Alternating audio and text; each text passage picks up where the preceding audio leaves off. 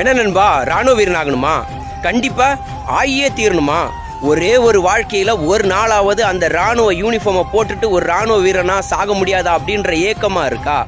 ஒவ்வொரு செலெக்ஷன்லையும் நம்பிக்கை இந்த செலெக்ஷனில் செலக்ட் ஆயிடலாம் அப்படின்ற நம்பிக்கையோட போயும் ஒரு செலெக்ஷனில் ஹைட்டில் ஒரு செலெக்ஷனில் வெயிட்டில் ஒரு செலெக்ஷனில் மெரிட்டில் ஒரு செலெக்ஷனில் மெடிக்கலில் அப்படின்னு ரிஜெக்ட் ஆகும்போது சாகணும் போல இருக்குமா? இருக்கும்.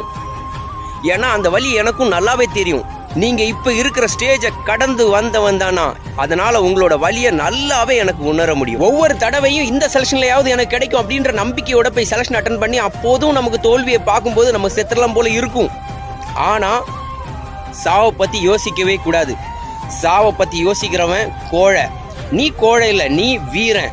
வீரன் என்ன பண்ணுவான் அப்படின்னா ஒவ்வொரு தோல்வியிலையும் ஒவ்வொரு பாடத்தை கத்துக்கிட்டு கத்துக்கிட்ட பாடத்தை சரி செஞ்சு மறுபடியும் முயற்சிப்பான். மறுபடியும் முயற்சிப்பான். மறுபடியும் முயற்சிப்பான். கடைசியில வீரன் ஒரு நாளைக்கு ஜெயிப்பான். இப்ப நீயே முடிவு பண்ணு நீ வீரனா இல்ல? புரிஞ்சிருக்கும்னு நினைக்கிறேன். என்னைக்குமே சூசைடு அப்படின்றது ஒரு தீர்வே கிடையாது நண்பா. போராடு. போராடு. போராடிக்கிட்டே இரு. ஒரு நாள் இல்லைன்னா ஒரு நாளைக்கு கண்டிப்பா வெற்றி நிச்சயம். जय हिंद जय भारत।